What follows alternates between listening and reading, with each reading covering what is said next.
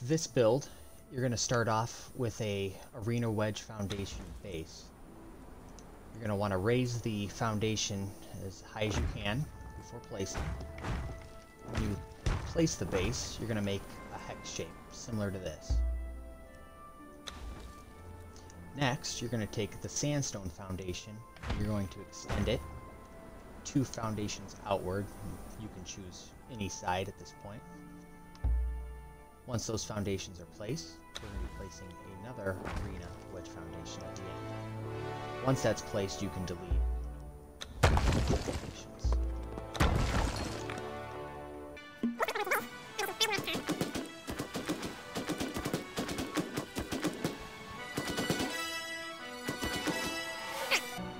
At this point, your tower should be six foundations high.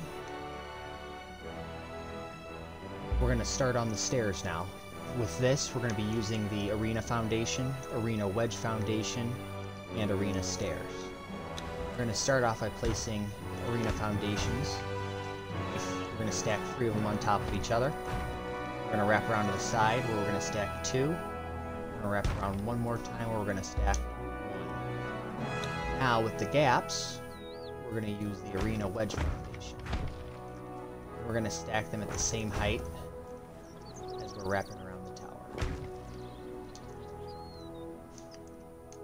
Once those are placed, we're going to place the arena stairs now.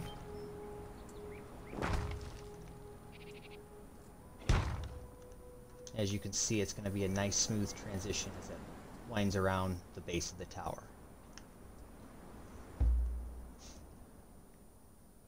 Once it's placed now, we're going to be using the arena vaulted ceiling. It's going to be the single. We're going to rotate it to where it has a nice curve coming off of the arena foundation base. Now we're going to connect these two pieces. We're going to use arena vaulted ceilings, the single pieces, once more. We're going to rotate them to where it forms a nice archway.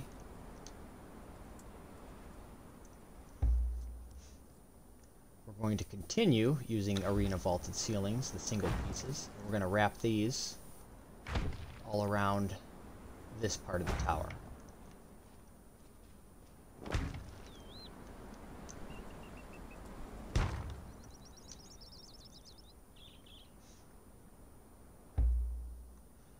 Alright, now once those are placed, we're going to be using arena walls, and we're going to be placing them on these vaulted ceilings. Make sure the outer face is facing outwards and not towards the inside of the building.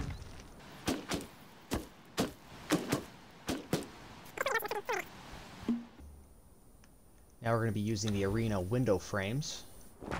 We're going to be placing them on the outside. There's going to be a door that goes here, so leave this one open for a door.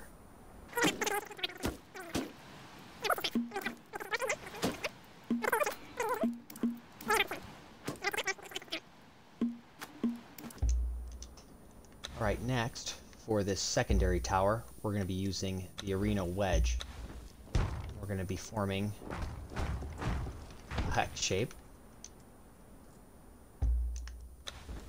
We're going to use arena wedges up here as well to fill in these gaps.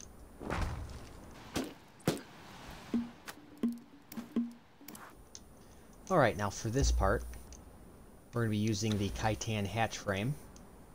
And you can place it anywhere on one of these openings. I like to place it here to where as soon as you enter, it's just a straight path towards where you access the next level of the tower. You're also going to be placing the arena ceilings to fill in that, and the arena wedge ceilings in the tower.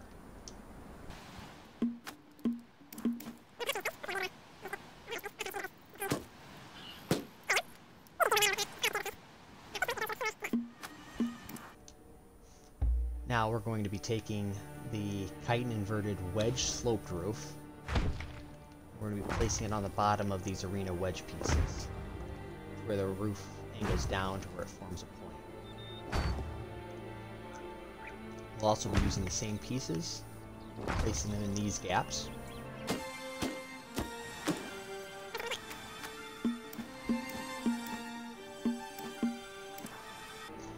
Alright, now at this point we're going to be switching over to our Aquilonian building palette. For this we're going to be using the Aquilonian frame, the window frame. Outer face facing out, and we're just going to wrap this all the way around the tower.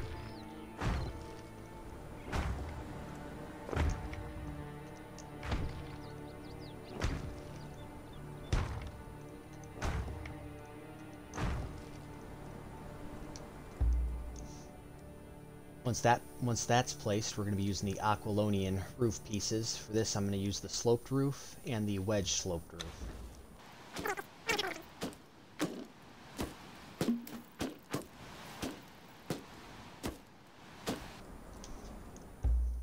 Once your roof is placed, we're going to be using Aquilonian window frames once more, and we're going to be wrapping these around the top portions of the ceiling.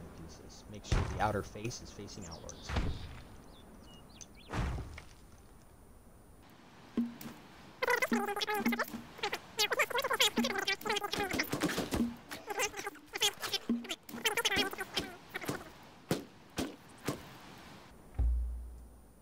To finish the roof, we're going to be using the Aquilonian fence, kind of as a trim all the way around.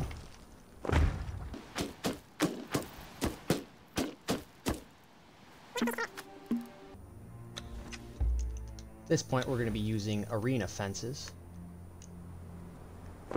We're going to be placing these fences along the outside of some portions of the tower, just like this.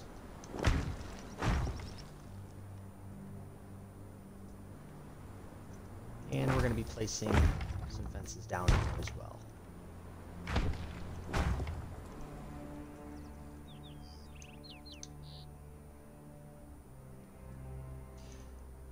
Now, with this build, we're almost finished. There's just a couple more pieces we need to add on.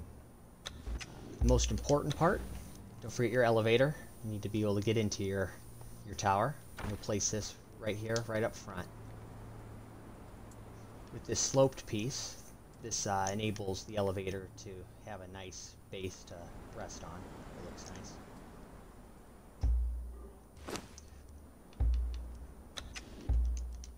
Now we're going to be taking our hanging war banners. We'll just place these all the way around. Normally I like to line them up with these little gray squares that are part of the Aquilonian window frames.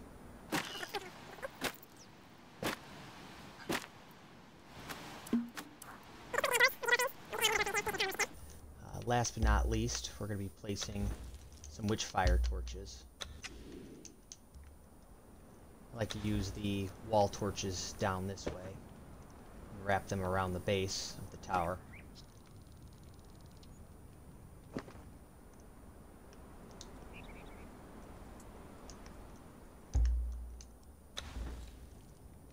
And then here, I like to use these standing wall torches. And with those placed, that concludes the build.